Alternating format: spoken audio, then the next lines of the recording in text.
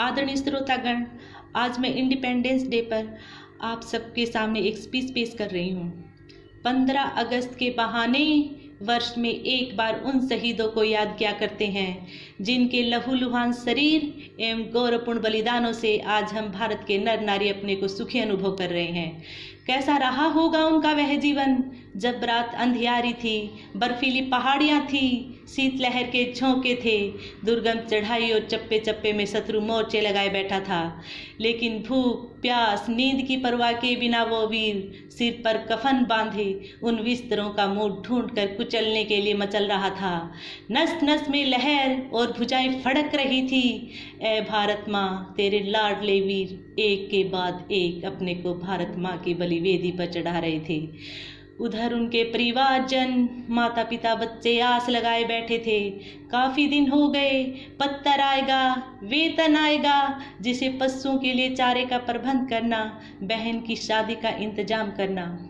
लेकिन ओहो, पत्थर या वेतन की बजाय तिरंगे झंडे में लिपटे बॉक्स में बंद सपूत बेटे की लाश आती है। पूरे गाँव में सन्नाटा छा जाता है। जननी माँ को अंतिम दर्शन देने के लिए कफन हटाया जाता है। माँ गोलियों के निशानों को देखती है तो सहम जाती है।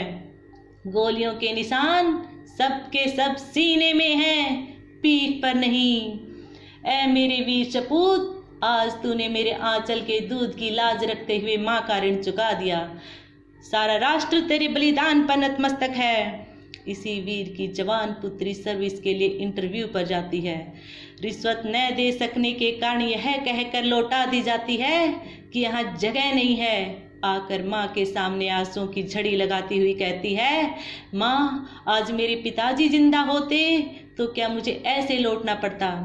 ये हाल इस देश का, जिसने सारे राष्ट्र को जगह दी, आज उसकी संतान के लिए जगह नहीं।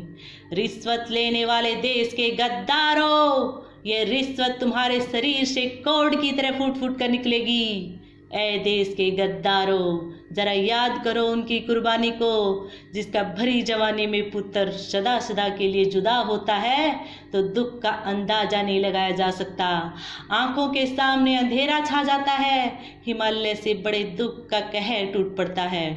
उसको भी सहन करता हुआ पिता कहता है, धन्य है बेटे तेरे गौरवपूर्ण बलिदान पर आज देश हरा भरा, खुशहाल नज़र आ रहा है।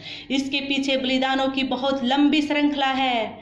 टाइगर हिल की जीत का प्रश्न आया। 18-20 वर्ष के नौजवानों ने सहर्षत अपने को मौत के मुँह में जाने के लिए प्रस्तुत किया। जब जब भी देश पर संकट आया, देश के बहादुर नौजवानों ने उबलते हुए गरम गरम खून की आहुति दी। मांस को चिमटियों से नचवाया जीते जी अंग अंग को कटवाया। लेकिन भारत माँ का भाला नीचे नहीं होने दिया। इसी देश की आज़ादी के लिए महर्षि दयानंद जी ने सत्रह बार जहर खाया।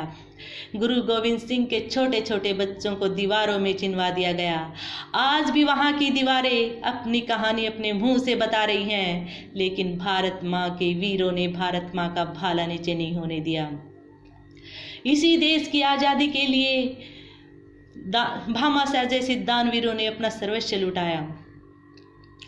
प्रत्येक देशवासी को अपने देश से इसी तरह प्रेम करना चाहिए। जंगल में एक वृक्ष पर लगी आग को देख कर जाते हुए राहीगर ने कहा, आग लगी इस वृक्ष पर, जल रहे डाल और पात। अरे पक्षियों, उड़ क्यों नहीं जाते? जब पंख तुम्हारे साथ। पक्षियों ने जो उत्तर दिया, वह हर स्वदेश प्रेमी के लिए आचरण करने योग्य है। पक्षियों ने उत्तर दिया फल खाए इस वृक्ष के और गंदे की है पात। धर्म हमारा यही है, जले इस वृक्ष के साथ। अंत में मैं अपनी वाणी को विराम देते हुए अपने देश पर शहीद होने वाले शहीदों पर अपने श्रद्धा सुमन अर्पित करते हुए चंद अल्फाज और कहूँगी। मौत जीने का नया अंदाज है, मुश्किलें भी एक सुरीला साज है। मातृभूमि पर काम आए लाडलो, पूरी मानवता को तुम पर नाज है। जय हिंद।